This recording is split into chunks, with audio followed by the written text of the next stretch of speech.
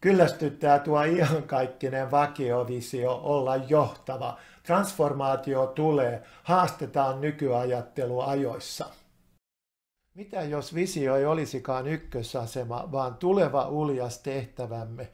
Läpimurtoteemat muodostavat tiemme tulevaan. Uskommeko todella, että tehtävä pysyy samana ja kasvu tulee vakiotoiminnasta?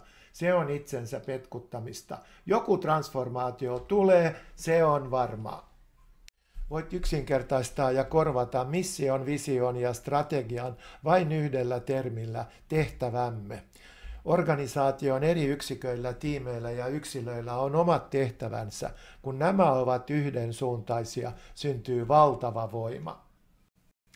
Ammennetaan tulevasta tehtävästä voimaa ja innostusta. Otetaan se käyttöön heti ja tehdään siitä totta.